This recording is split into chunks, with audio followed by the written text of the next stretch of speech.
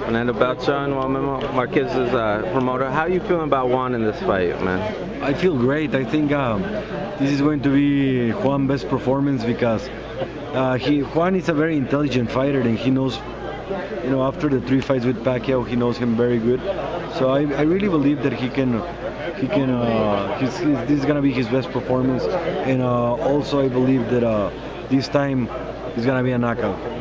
What have you been hearing about his training camp over the weeks? How do you kind of keep in touch with him? Uh, no, I, I went to see him a couple of times and I was impressed.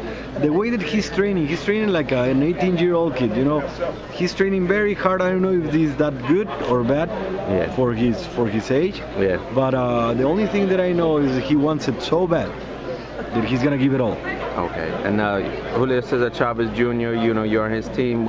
And he, what's the latest with him following the Uh, Martinez he's fight? waiting for his visa to come to for the hearing. Okay. The visa, he, he hasn't get the visa yet. Yeah. And uh, he went to Mexico City to do some exams.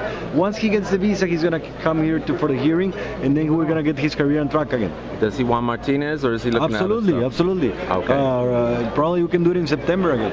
And there any other fighters that you want to make mention of? Anything else you got coming Well, up? I'm very excited about the doubleheader we did in LA.